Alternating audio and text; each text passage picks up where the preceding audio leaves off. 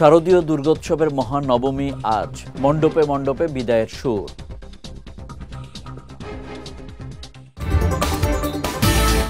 এবং দেশের সব ক্ষেত্রে সংস্কার করতে হবে বললেন ত্রাণ উপদেষ্টা।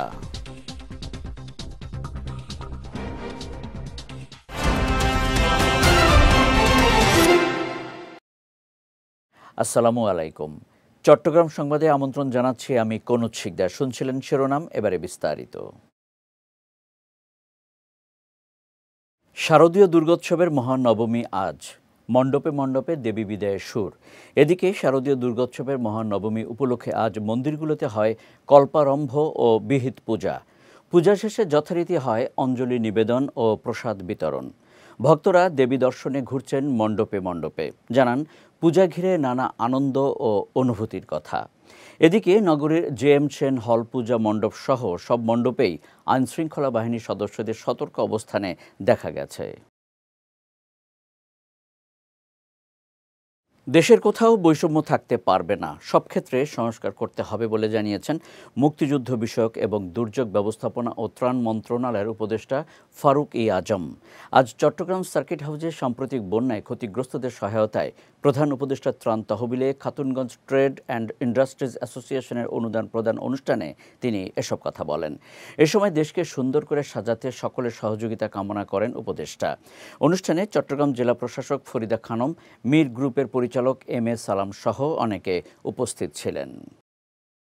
যে এই বৈষম্যের শিকার আপনারা হয়েছেন, এই বৈষম্যগুলোকে আপনারা আপনাদের মনোযোগ দিয়ে কি করলে সবচাইতে সর্বোত্তম হবে, সেটাই আপনারা আমাদেরকে নির্দেশ দেবেন, আমরা তাই করে দেব। এটা এই নয় যে আপনারা আমাদের কাছে চাইবেন চাইবেন না, নির্দেশ দেবেন যে হ্যাঁ এটা করে দেন, তাহলে দেশের এই উপকার হবে। আমরা তো সেটাই, সেই সংস্কারগুলো করার জন্যই এখানে আসছি। স্বৈরাচার আওয়ামী লীগ সবসময় সনাতন ধর্মাবলম্বীদের মাঝে বিভেদ তৈরি করে রেখেছিল বলে মন্তব্য করেছেন চট্টগ্রাম মহানগর যুবদলের সাবেক সভাপতি মোশাররফ হোসেন দীপ্তি। গতকাল চট্টগ্রামে হালিশহর, খুলশি আকবরশাহ পাহাড়তলি সহ বিভিন্ন এলাকার পুজো মণ্ডপ পরিদর্শন শেষে তিনি এই মন্তব্য করেন। পরিদর্শনকালে আকবরশাহ থানা বিএনপির সভাপতি আব্দুস সাত্তার সেলিম, হালিশহর থানা বিএনপির সাধারণ সম্পাদক জাহাঙ্গীর আলম সহ অনেকে উপস্থিত ছিলেন। অন্যদিকে চট্টগ্রামের বাঁশখালী উপজেলার চাম্বল ইউনিয়নে উপজেলা যুবদলের সংগঠক আহমদ নূর আমিরির নেতৃত্বে পূজা মণ্ডপ পরিদর্শন এবং প্রতিটি মণ্ডপের সভাপতি ও সম্পাদকদের আর্থিক সহযোগিতা প্রদান করা হয়। এ সময় যুবদলের সকল নেতাকর্মীরা উপস্থিত ছিলেন। সকলের সহযোগিতায় এবারের দুর্গাপূজা উৎসবমুখর পরিবেশে উদযাপিত হচ্ছে বলে মন্তব্য করেছেন রাঙামাটি জেলা প্রশাসক মোহাম্মদ মোশাররফ হোসেন খান। আজ রাঙামাটির লংদুতে পূজা মণ্ডপ পরিদর্শনে এসে তিনি এই মন্তব্য করেন। এই দিন উপজেলার তিন টিলা শ্রী শ্রী রাধাকৃষ্ণ সেবাশ্রম মন্দির, শ্রী শ্রী জালিয়াপাড়া শিব মন্দির, মাইনিমুখ বাজার শ্রী শ্রী হরি মন্দির মণ্ডপ পরিদর্শন করেন জেলা প্রশাসক। পরিদর্শনকালে Rangamati police super S M Farad Hossain, Longdu উপজেলা নির্বাহী কর্মকর্তা মোহাম্মদ কফিল উদ্দিন লংদু থানার ভারপ্রাপ্ত কর্মকর্তা মোহাম্মদ হারুনুর রশিদ সহ অনেকে উপস্থিত ছিলেন। চট্টগ্রামে বিভিন্ন পূজা মণ্ডপ পরিদর্শন করেছেন বিএনপির কেন্দ্রীয় ভাইস চেয়ারম্যান গিয়াসউদ্দিন কাদের চৌধুরী। গতকাল নগরের রাউজান উপজেলার বিভিন্ন পূজা মণ্ডপ পরিদর্শন করেন তিনি। এ সময় পূজার উপহার হিসেবে সনাতন ধর্মাবলম্বীদের মাঝে বস্ত্র বিতরণ করেন গিয়াসউদ্দিন কাদের চৌধুরী। পরিদর্শনকালে বিএনপি নেতা আবু জাফর চৌধুরী, সাবেক ইউনিয়ন পরিষদের চেয়ারম্যান নুরুল হুদা, যুগ্ম আহ্বায়ক ফিরোজ আহমেদ সহ অনেকে উপস্থিত ছিলেন।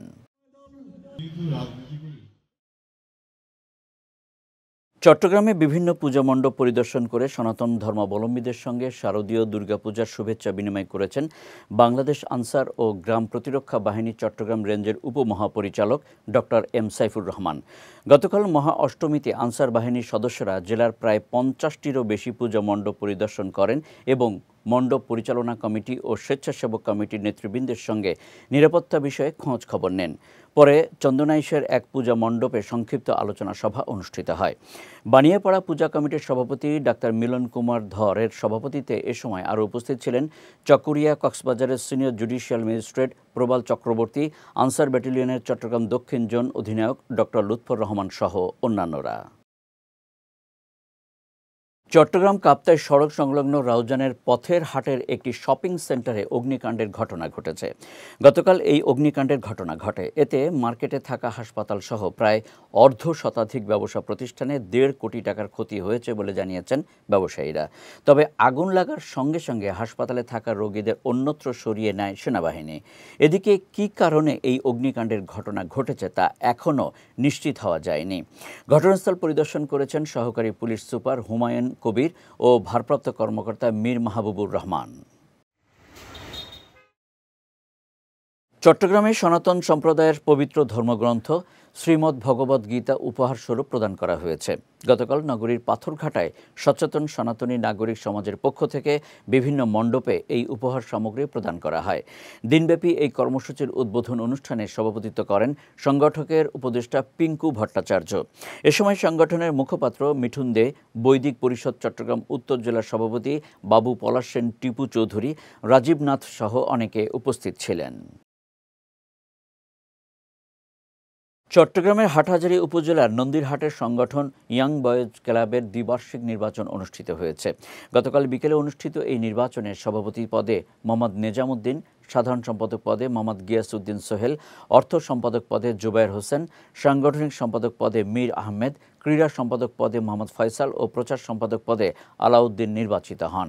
এ সময় নবনির্বাচিতরা ক্লাবের সদস্যদের কল্যাণের পাশাপাশি আধুনিক সমাজ বিনির্মাণে ঐক্যবদ্ধভাবে কাজ করার প্রত্যয় ব্যক্ত করেন। চট্টগ্রাম সংবাদ শেষ করার আগে শিরোনামগুলো দেখে নিচ্ছি আরও একবার।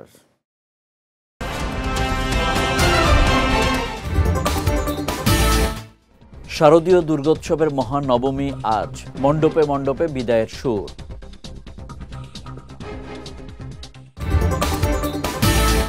এবং দেশের সব ক্ষেত্রে সংস্কার করতে হবে বললেন ত্রাণ উপদেষ্টা।